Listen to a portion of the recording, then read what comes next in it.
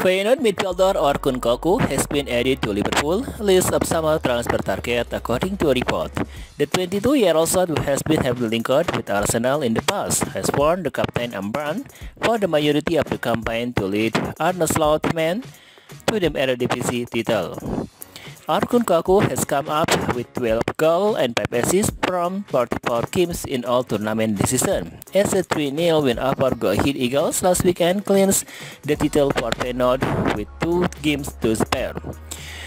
The Turkish international has spent the last 9 years with Feyenoord and leaving Groningen Youth Academy in 2014, posting a total of 32 goals and 27 assists in 173 outing for the Dutch Giant across all competition. However, Feyenoord only have the skipper under contract for under two years, and their result is expected to be tested during the upcoming transfer window. Manchester United are believed to be have sent scout to keep an eye on Orkun Kökçü throughout the season. But according to Football Transfer, Liverpool are firmly in the mix as well. Sign pressing Cody Gakpo away from the has been happen in January, Liverpool have apparently been keeping a close, close eye on the top flight of Dutch football, Arkin admires of Koku.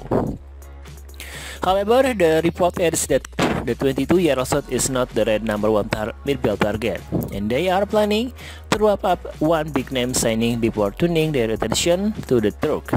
Liverpool will initially planning to repel Manchester United Real Madrid for the signature of Borussia Dortmund player Jude Bellingham by the Merseyside club could hit his 130 million pound price tag and ultimately drop out their interest.